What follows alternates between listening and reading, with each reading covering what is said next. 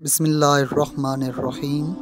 हज़रत इमाम अलीसम की खिदमत में एक शख्स हाजिर हुआ, दस्त अदब को जोड़ कर कहने लगा, या अलीसम मुझे कुछ ऐसा बताएँ कि जिससे मेरे रिज्क में इजाफ़ा हो।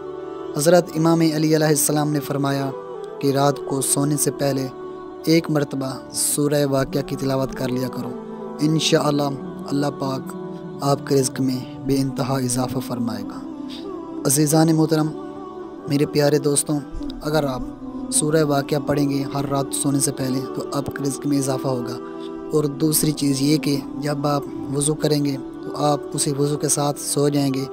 तो सारी रात अल्लाह पाक के फ़रिश्ते आप पर अल्लाह ताला की रहमतें और बरकतें लेकर नाजिल होते रहेंगे। इससे आपको दो फ़ायदे होंगे। एक तो आप हज़रत इमाम अली सलाम के फ़रमान पर अमल कर रहे होंगे, एक आपको उसका स्वाब मिलेगा और दूसरा आपकी सारी रात इबादत में गुजरेगी।